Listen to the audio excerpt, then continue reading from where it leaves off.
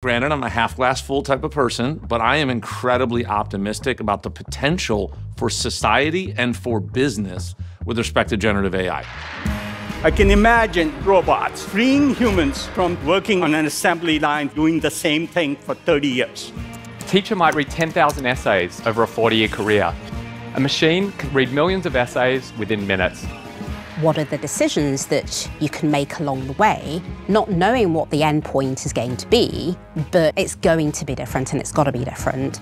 Generative AI has become a board level topic of discussion. Look at AI as an ability to reinvent business.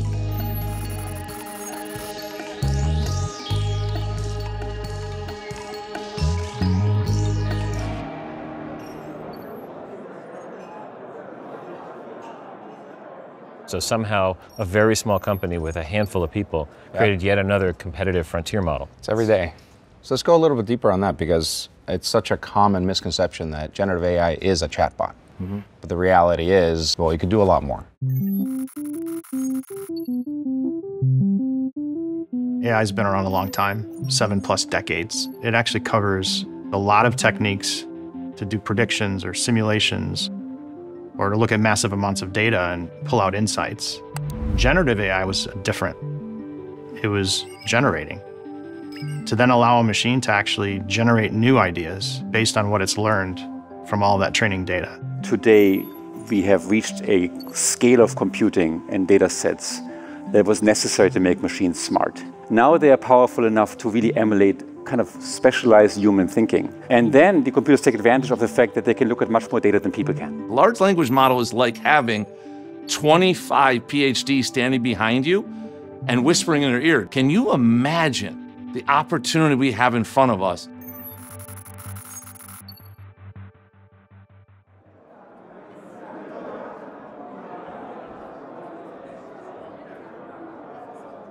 When people imagine AI, they imagine AIs as replacing things people do. That was actually true when computers first came out, too.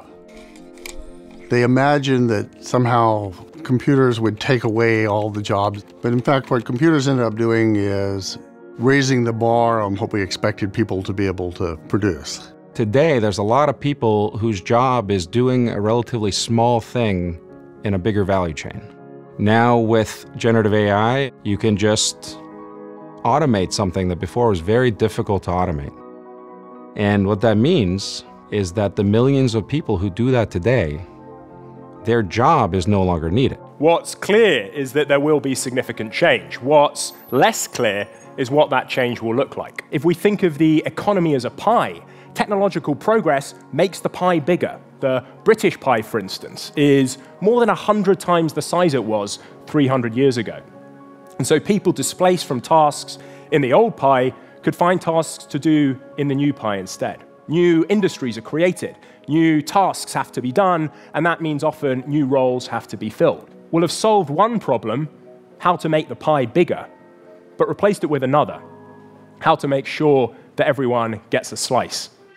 We're in a point of transition as we were maybe in the Industrial Revolution or back in the day of electricity coming online that we had decades to bring people along and reskill them, find new jobs, and that human absorption was done over 20, 30, 40 years. We're not seeing that time frame here. So I think it's not about how we do it, it's about how fast we do it. Approaching AI solely as a cost-cutting mechanism or the replacement of the workforce, I think you're doomed to fail from the beginning. Look at AI as the ability to evolve in a workforce's skill set. Generative AI should be in the hands of almost every worker in every organization, and that involves change management, training, communication, and showing people the opportunity they have in front of them. What do you normally see as hurdles to driving adoption or getting people to change? Most people have built their entire careers without ever having to spell the word AI. So all of a sudden there's this thing to learn about. And it's a lot for people to absorb. Yeah. A lot of thinking and focus goes on where to start, where to make no regrets moves because this is still a moving technology. So what things could I do right now that if I do them are probably going to have some sustainable value? That if the technology changes, it's not going to be a dead end for me? Information sharing right now, I think, is really critical. Speaking to other organizations, working with industry bodies, working with even your regulators to try and understand how others are exploring this technology. What I love about generative AI is this isn't a $100 million, 10 year project. You can spin up a use case and drive an opportunity within a week. You can get 100 employees skilled up in generative AI with eight to nine hours of training. If you want everybody to use a new tool and there's no incentive to do that, then there's no reason to do that. In my experience, with most companies, there's a lot of hurdles to adopting new technology because there's a lot of risks. What we want people to do is to explore, have fun with it, because that's where you will seed those great ideas, those great innovations. Think of everything as an experiment with the goal of creating a learning organization so that you can have a culture that is adapting to what's happening.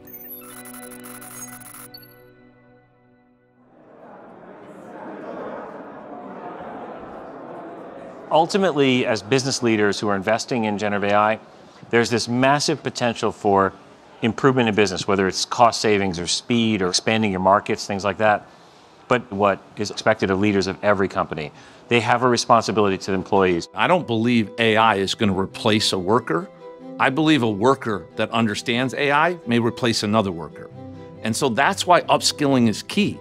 Upskilling is a very warm, comfortable word because it means that someone is going to help us increase our skills and adapt to a world where AI is working with us. Organizations that struggle to grasp what AI is and specifically what the generative AI moment is really struggle to get out of a core set of fear because they, they don't know what they're actually dealing with.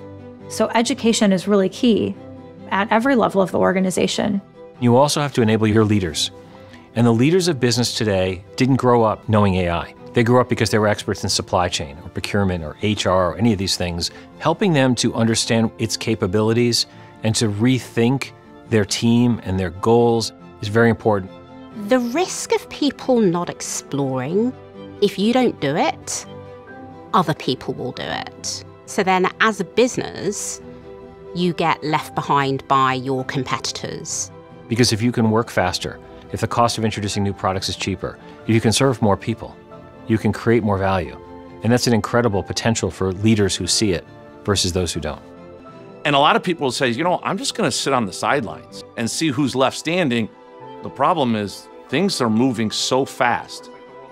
A year from now, you're going to feel like you're 10 years behind.